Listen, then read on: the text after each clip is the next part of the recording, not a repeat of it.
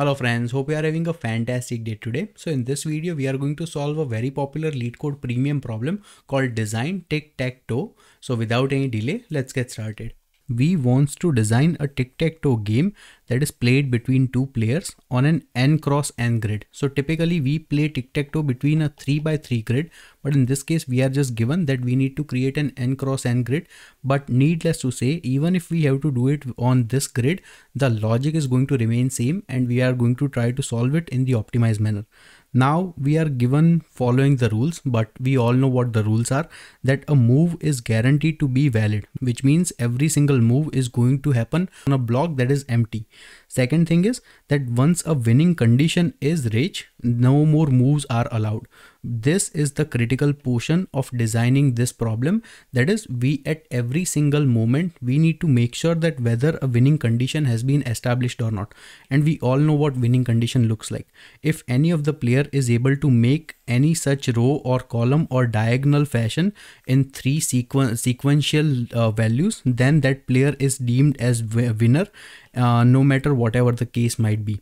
So let's try to see that what is going to be the most simplest approach that we can take or the brute force approach to check if at any given position any single player has reached the winning condition or not. Well, the answer is quite simple. Let's assume that any single player makes a move so in this case, since the move is located at a non-diagonal square, we only need to check that whether this uh, happens like all three zeros or whether these happens as all three zeros. If this is the case, we can simply deem this as winning condition and we can we can stop the game from there, there saying that this player has won. If that is not the case, then we can continue the game.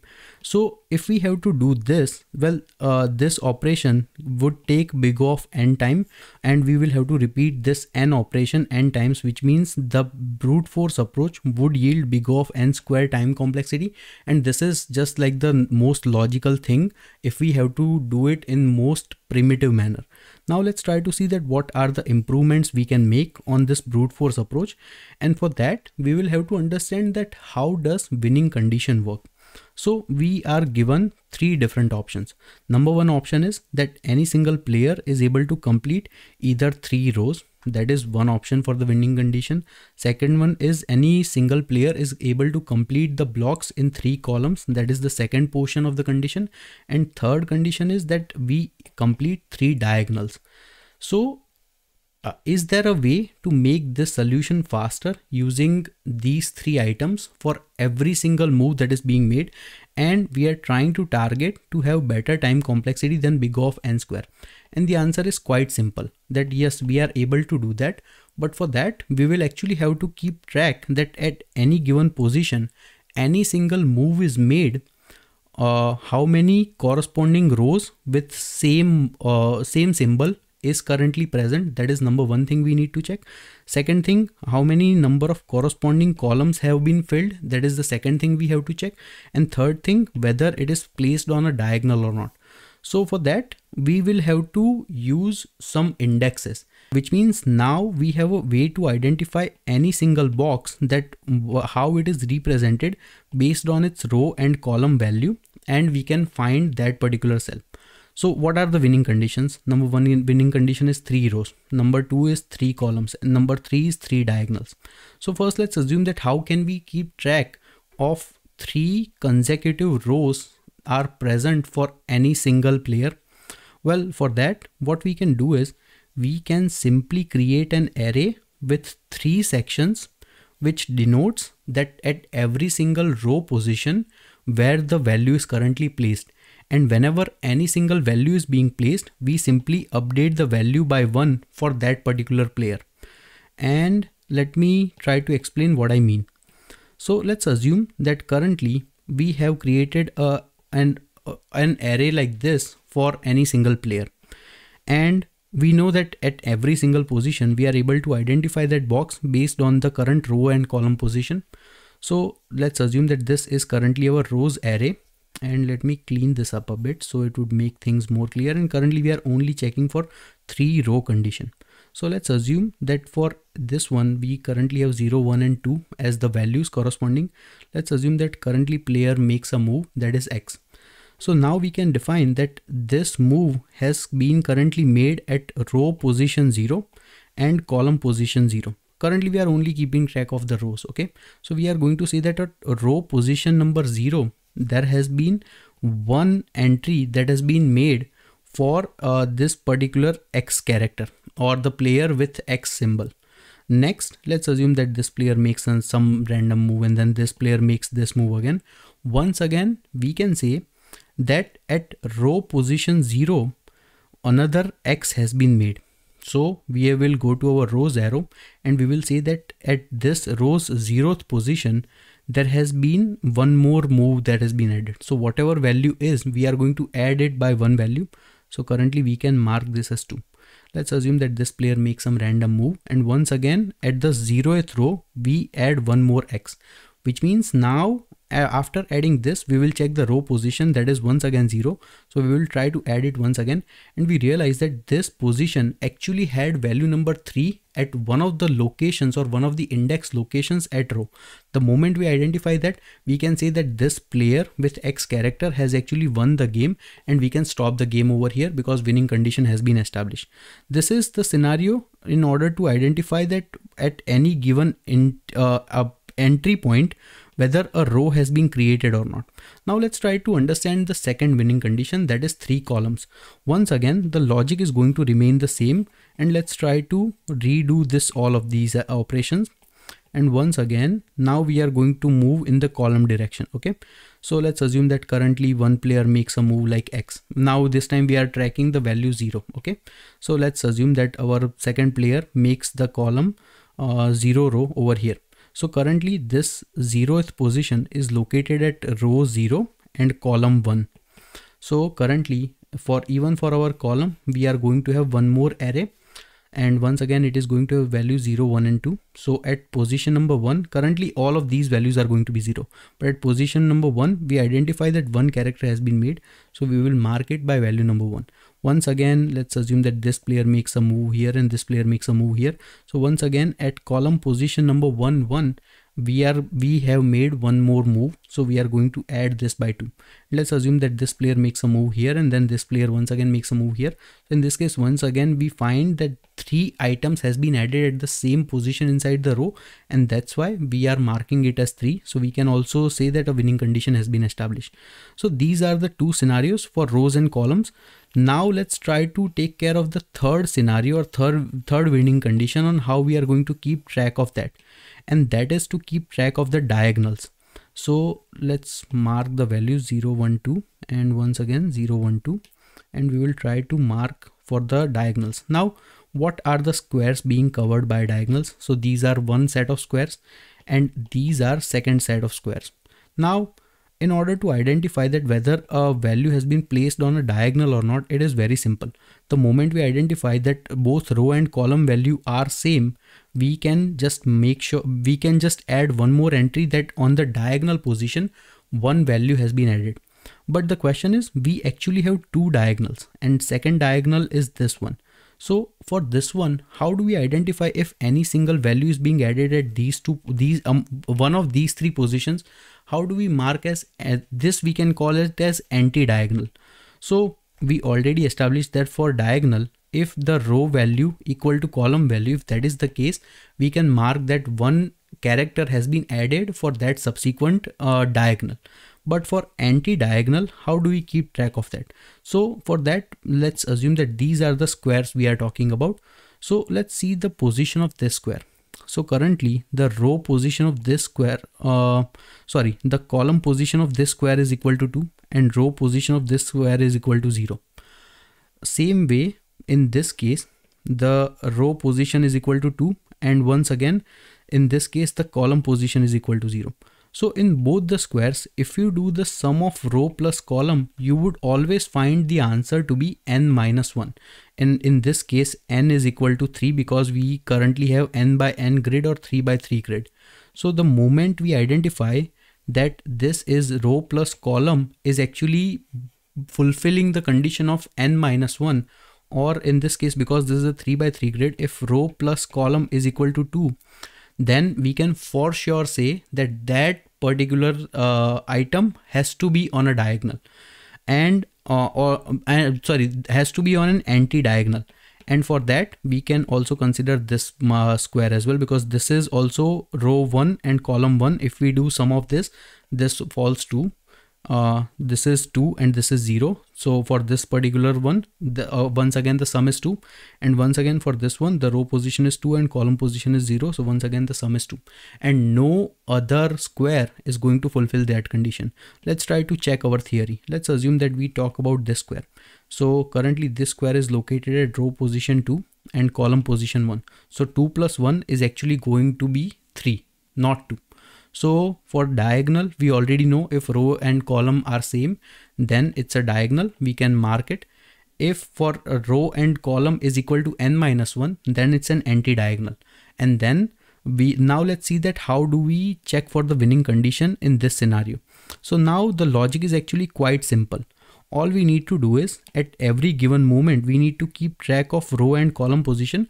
But now we don't need to check for the whole thing regarding uh, creating separate arrays because there can, there are only two diagonals possible a normal diagonal and anti-diagonal.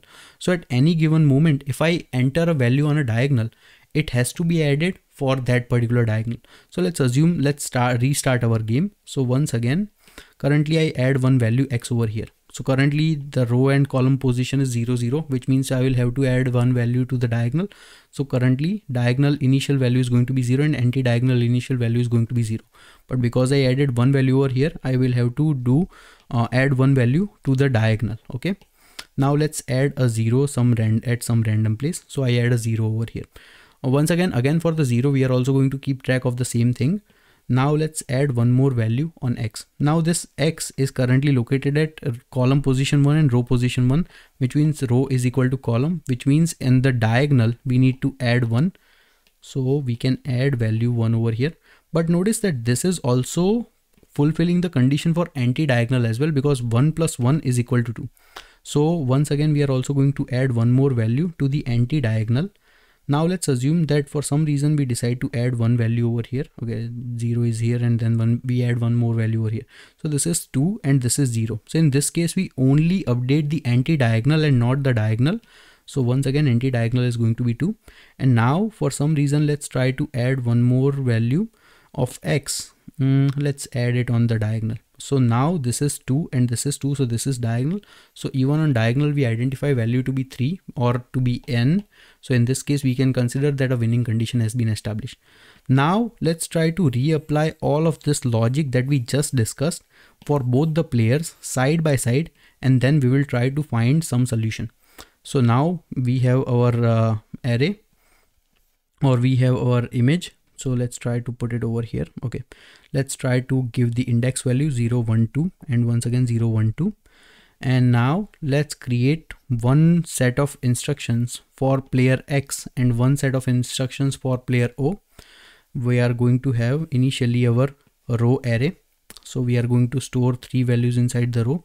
Once again for column we are going to store three values inside the column once again for diagonal we are going to have just a normal zero and for anti-diagonal we are going to have a normal zero. Same thing going to happen for row